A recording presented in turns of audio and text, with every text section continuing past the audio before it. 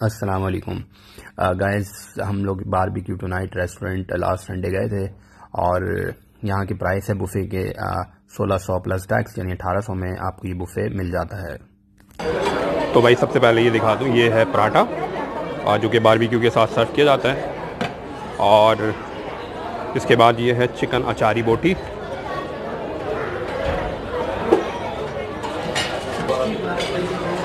ये है इसके बाद रेशमी कबाब।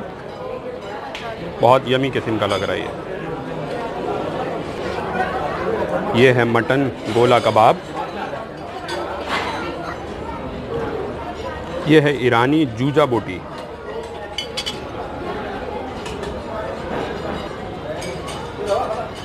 ये है ईरानी कुबैदा कबाब। ये है fish hot sauce. Vegetable rice chicken chilli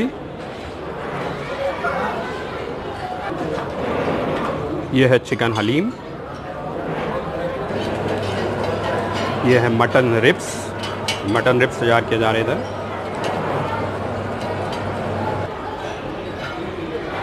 ये चिकन फिंगर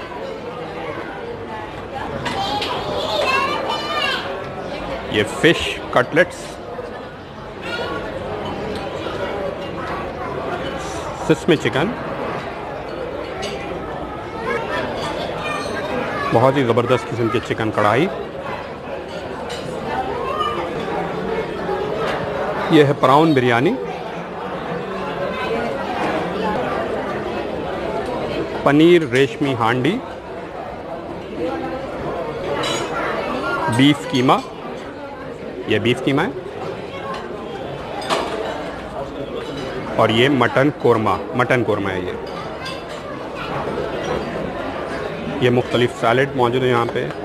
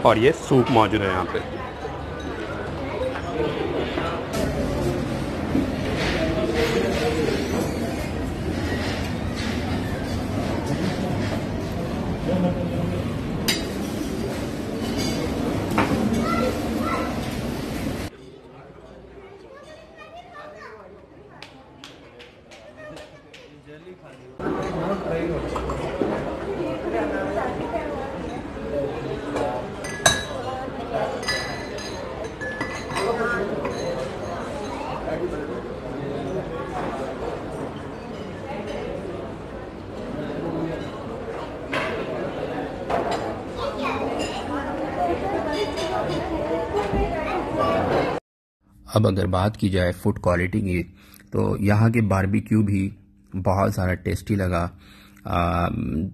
सीख कबाब हो या जो भी कबाब यहाँ पे बारबेक्यू मौजूद था, सारे का टेस्ट बहुत अच्छा था।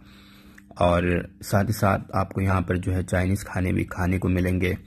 और चाइनीज़ में जो है फ़िश हॉट सॉस भी बहुत अच्छा था टेस्ट अच्छा था इसका। फ्राइड राइस जिस तरह नॉर्मल रेस्टोरेंट में आपको मिलता है, वैसे ही यहाँ पर भी फ्राइड राइस था। और चिकन चिली ये भी बहुत ज़्यादा टेस्टी थी।